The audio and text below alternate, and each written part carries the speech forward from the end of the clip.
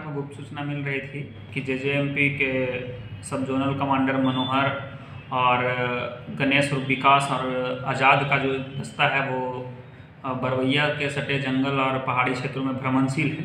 जिस सूचना का सत्यापन हेतु तो एक टीम का गठन किया गया जिसमें ग्यारह बटालियन की ए कंपनी और मनिका थाना में मुझे और अन्य सशस्त्र बलों को शामिल किया गया। सर्च के दौरान जो है वो बरवैया कला जंगल से सटे क्षेत्र से लगभग 25 केन बम बरामद किया गया, जिसे बी टीम के द्वारा घटनास्थल पर इन्वेस्ट किया गया।